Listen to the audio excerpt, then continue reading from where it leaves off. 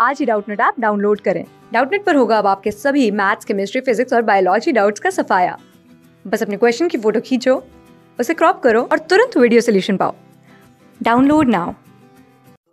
हमारे पास एक सेट्स का क्वेश्चन है और क्वेश्चन है कि let A comma B have three and six elements each respectively then minimum number of elements in A intersection B A intersection B में मिनिमम नंबर ऑफ़ एलिमेंट्स क्या होता है इसको फाइंड आउट करना है हम।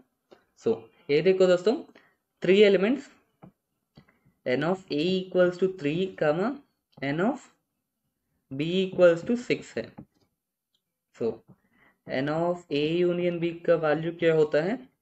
n of a plus n of b plus n of minus n of a intersection b okay दोस्तों so so, हमको इसका वैल्यू तो मैग मिनिमम होने के लिए इसका वैल्यू मैक्सिमम होना चाहिए। So N of A intersection B का मैक्सिमम वैल्यू क्या होता है? ये दोनों को least value that is three होता है। Because if A completely belongs to B that is A का ये three elements A six elements हो तो इस तरफ़ हो गया तो ये तो बी है, ये तो ए है। ये तो यह सिक्स एलिमेंट्स होता है ना, यह थ्री एलिमेंट्स होता है ना।